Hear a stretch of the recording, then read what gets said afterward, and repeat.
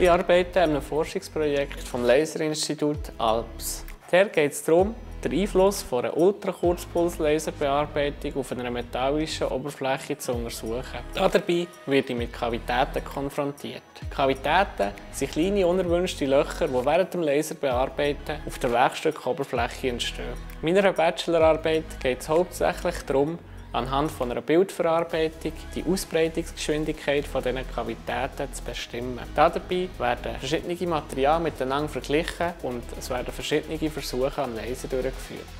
Kurzpulslaser werden in der heutigen Industrie immer wichtiger. Gerade darum ist es wichtig, dass man weiss, unter welchen Voraussetzungen dass am optimalsten gelasert werden kann. Dank dieser Arbeit sollen Aussagen über bestimmte Materialien gemacht werden, unter welchen Voraussetzungen mit welchen Parametern dass Kavitäten am besten oder am schlechtesten entstehen. Meine grösste Herausforderung von dieser Arbeit ist die Bildverarbeitung von verschiedenen Oberflächen. Jedes Material hat eine andere Oberflächenstruktur. Das wiederum erfordert immer wieder andere Bearbeitungswerkzeuge. In meiner Arbeit habe ich mich viel mit Sensoren und Bilder beschäftigt. Das ist sehr interessant und lehrreich.